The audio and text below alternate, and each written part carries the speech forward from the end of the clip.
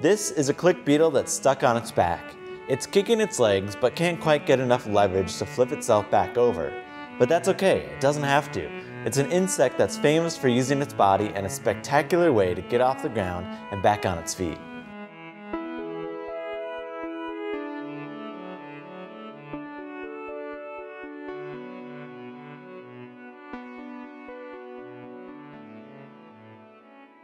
One thing I really like about the click beetle jump is you can see what they use to make it work. They have a little latch that's right here on their bodies that they use to load and release the energy they use for a jump.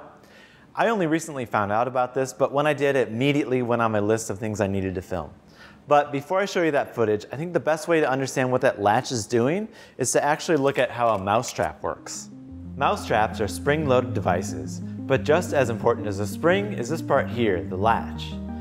This little lip keeps the energy of the spring loaded and ready to go, and when it slips, that's the point at which the stored energy of the system is released and the fast movement of the trap can happen.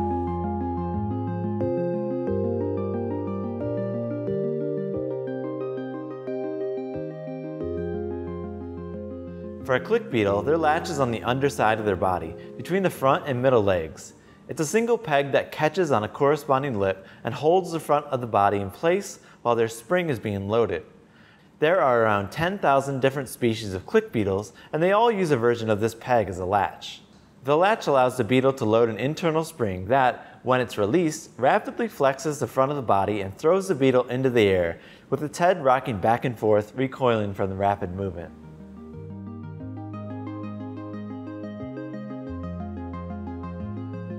Here are two close-up slow motion shots that show the beetles setting the peg latch in place as they prepare for a jump.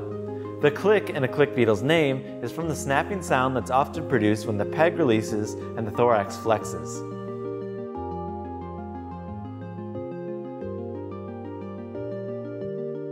In this sequence, captured at 3200 frames per second, the rapid flex of the beetle sends it accelerating off the ground at 2150 meters per second squared, which is pulling 219 Gs.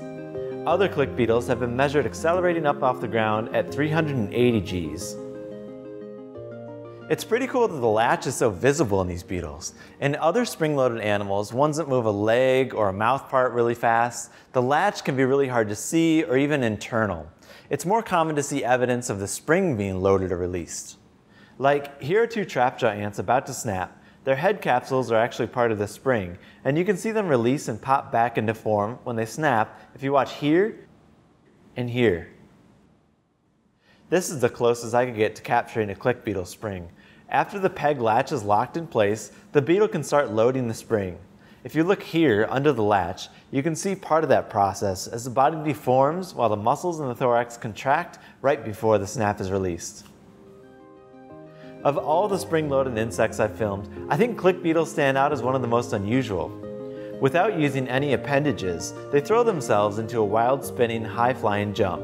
Why they evolved such a powerful and unique jump is actually unclear, when threatened, they are quick to play dead, and when they do jump, they don't seem to be able to control the orientation of their body, and their landings are far from graceful.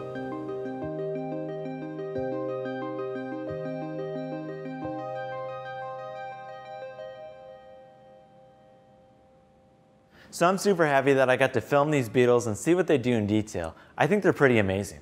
I should say that all the beetles that are in this video, I just grabbed from my yard. They're really common insects, so it's likely that you can go outside and find one too. Thanks for watching.